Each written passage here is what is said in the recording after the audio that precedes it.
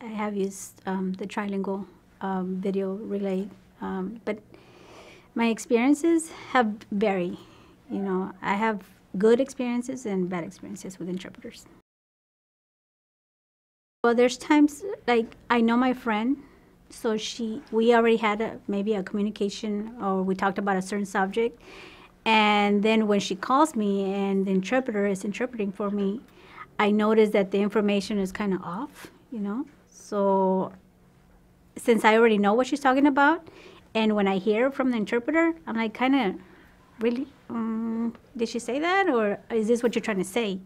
You know like for example there was a, um, a party they were going to have a baby shower and they were we were talking about the baby shower but the, the interpreter made it sound like the baby was already born.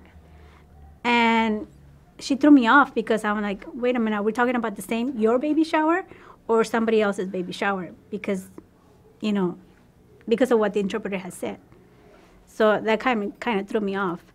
But and there's also um, uh, other experiences where uh, the interpreter is like, I can tell she's very skilled because I, I even forget I'm talking to a deaf person.